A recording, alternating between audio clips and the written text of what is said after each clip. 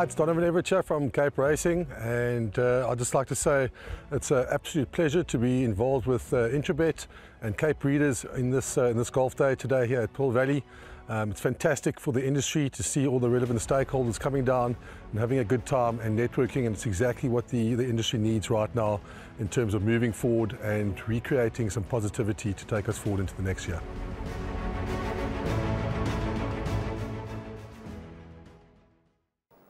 Welcome back and thanks for joining us for race number six as we progress through the Hollywood Hollywoodbet Scottsville card.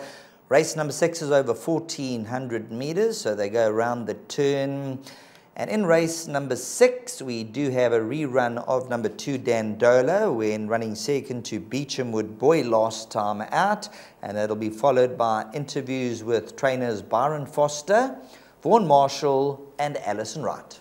Maximum along the rail. 300 metres to go. Beechamwood Boy and King of the Mellow come forward. Dandola, the blue sleeves and cap, asked to go with him. However, Beechamwood Boy is now starting to extend the gallop the last 150. He's full of fire and steel, and that's it. Climbing the ladder. Beechamwood Boy cruised in. Dandola possibly second from Go Man Go. Love Bomb behind these. Beecham would. Oh, ensuing, yeah, he was very, very unlucky in his last two starts in, in Cape Town, um, particularly his last start uh, over 1400. Uh, he's well drawn. Um, he's done good work at home, so I think he's in with a good, good chance. Iron Will is up in class today. Um, he's well, he's fit, and um, a bit of a flat run last time out, but uh, hopefully he can finish in the money. Shampompo Shampizi last time out the race didn't work out for him. Um, he's well and uh, expecting him to be involved in the finish.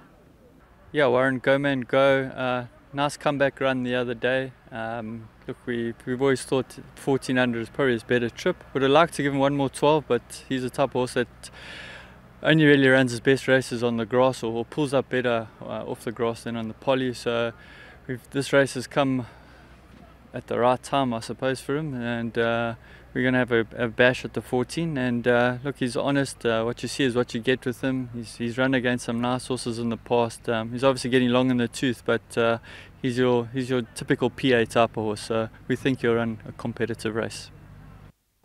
Thanks very much to the trainers. You got the comments about their respective runners for race number six. And just looking at the betting, number three, Noble City, pretty much unknown. He could be anything. He could be climbing the ladder. He could go right through the divisions. At this stage of the game, I'm going to watch number three, Noble City, at 14 to 10 because I don't believe that that is the right price. That's just my own opinion. I haven't seen him run to date, so I don't know too much about him. What I can tell you about Noble City is he did win on debut, beating Kibona Lasedi by three lengths, which appears impressive on paper. And then when you look at the form lines, the form lines have matched out and worked out particularly well that debut run. He's been off the track 48 days.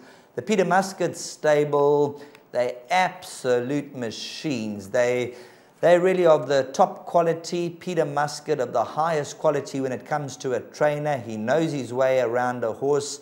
So certainly Noble City could be a horse that's far better than an 88 at this stage of the game. However, I'm going to sit on the fence. When you look at the maiden win, very impressive. Second time out, you can't knock him because that was over 1200, hung out and held up at the 400 to the 250 meter marker. So he was held up. He was a little bit unlucky in the running.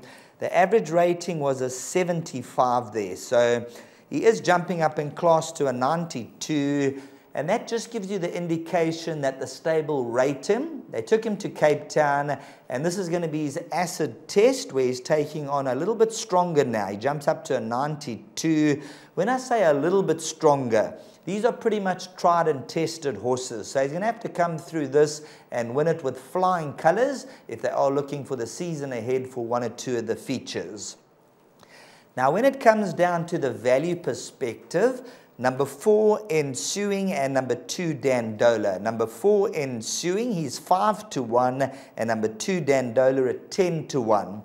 Let's touch on number four ensuing. The average rating was a 91, which he took on last time out, where he carried the 52 and a half.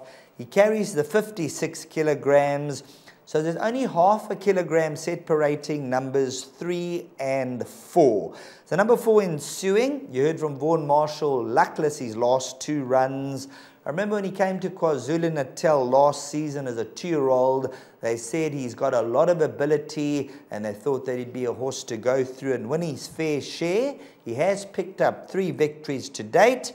And when you look when he went back to Cape Town, he went back to back, beating Cheeky Laddie and Charlie Malone. His next two races, very, very unlucky. So numbers three and four, it'll be quite interesting to see how the three-year-olds go, but the value is definitely with number five ensuing, not knowing how good number three, Noble City, is, crying out for the extra trip. The 1400 and further could be what he's looking for. And then number two, Dandola a horse who hasn't been the easiest of customers. So you've got to give credit where it's due. As I mentioned, the Peter Muscat stable, they know their hands around their horses. So does Tony Rivalland. A horse like number two, Dandola, from day one. Perhaps he hasn't been the easiest of customers. As you've seen on race day, Tony Rivalland goes out onto the track with him. They've got to get the rider aboard him. They've put in many, many hours with the horse like number two, Dandola, and after his good second time out, second run last time when running second, I think he's also 10 to 1 who could just be a little bit of value. Then you throw in Iron Will, Champompa Champizi, and the course specialist number eight, Runway Song. So I'm afraid I'm not going to be all that much of help. Number three, Noble City. For me, 14 to 10. He might come through and win by five lengths. But I've got a healthy respect for numbers four, two, and seven, along with number five. So when there's opposition in the race and a horse is 14 to 10, I'll be looking to take some swingers, exactors, and I'll definitely throw in number three, Noble City. But this is going to be a race that'll tell us a bit more about his future.